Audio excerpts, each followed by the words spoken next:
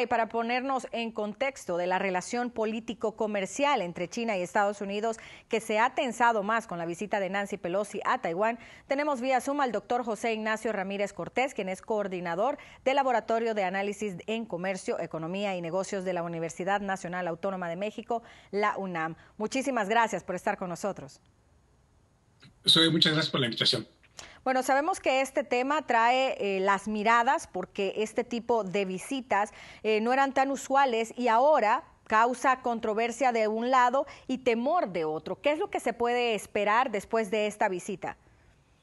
Sí, aquí eh, tenemos tres escenarios que pueden generarse a raíz de la visita de la lideresa de la Cámara de Representantes del Capitolio. Uno es eh, que eh, China eh, responda con aranceles, que establezca dos límites a la nueva inversión de Estados Unidos, principalmente en torno a desarrollo tecnológico, y tres, sanciones que puedan este, generarse en torno a Taiwán, que podría contener las importaciones que lanza Taipei hacia este, la República Popular eh, China. Y es ahí donde entonces veremos cómo se eh, genera este nuevo desarrollo en las relaciones entre eh, China y Estados Unidos.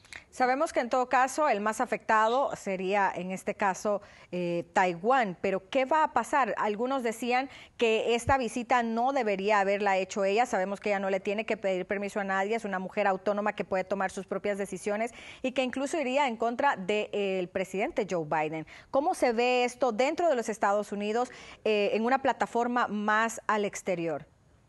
Sin duda la, este, eh, lideresa este, Pelosi pues eh, tiene un, vínculo muy importante con el presidente eh, Biden.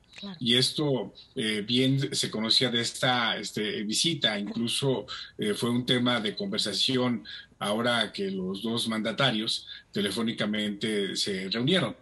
Y esto pues eh, tensó aún más las relaciones entre Beijing y Washington a raíz de que eh, la señora Pelosi pues eh, da un paso atrás en torno al comunicado de 1971, el comunicado de Shanghái de, de, de 1972, que se firmó el 28 de febrero de 1972, y también eh, da la espalda a la resolución 2758 de 1971 de la Asamblea General de Naciones Unidas, donde se reconoce a una sola China, que es lo que también este, eh, reconoce Estados Unidos a partir de 1979 y eh, pues la visita de Nancy Pelosi pues sí que va a poner aún más en entredicho estas